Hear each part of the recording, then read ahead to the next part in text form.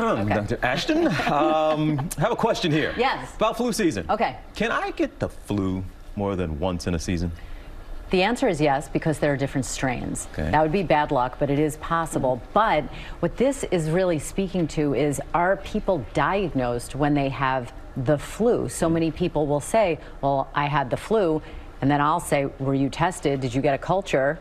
And they say, no, but I just felt really badly. Now, that may be that they had influenza, but there is a very easy culture nasal swab that can be done for influenza. And it is important to know if you've had it because there's antiviral medications for influenza that you would take if you test positive that you would not take, let's say, if you have the common cold. Okay, can I ask though? You said you can get it more than once because there are different strains, but if you can you get the same strain same time in a not in close twice in the season? proximity. Okay. So I mean, in a three-month period, no. Probably but not. but again, we hear about flu A, flu B, one, two. So yes, you can be exposed and be very unlucky. Oof.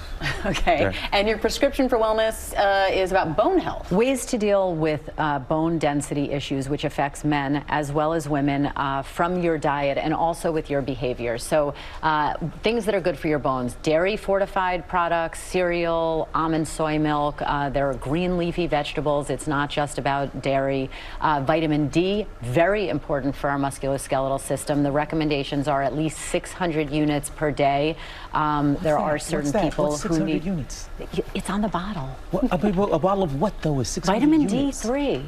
What, what, You'll what am I looking I'll at? show you. It'll say IU, international units. Don't worry. But- I, I'll, t- I'll take you through it. But is it a bottle of vitamin D or that's something I yes, am supplements. a supplement? Yes. Ah. Okay. But in just in nature, if I'm eating whatever Certain food foods contain vitamin D3, and that's how we track the amount. And but hold on, Okay, there's there's- two last things. Okay, sorry. I'm sorry, Doctor. weight many bearing follow-up questions. exercise and you guys a, a trick and a tip that i recommend to a lot of patients you can buy actually a weighted vest and when you go to the grocery store when you walk your dog when you go on just your mm. errands put that vest on it puts more skeletal mm. stress the positive stress on your bones and that will help especially if you're a smaller slimmer person mm-hmm. Okay. All good tips there. Thank you very much, Doctor. Did you have another question? We're gonna talk. Okay. All right. talk. you can submit your questions to us here at ABC GMA3.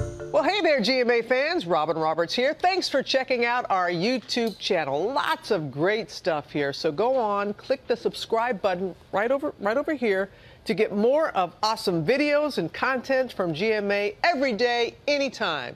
We thank you for watching, and we'll see you in the morning on GMA.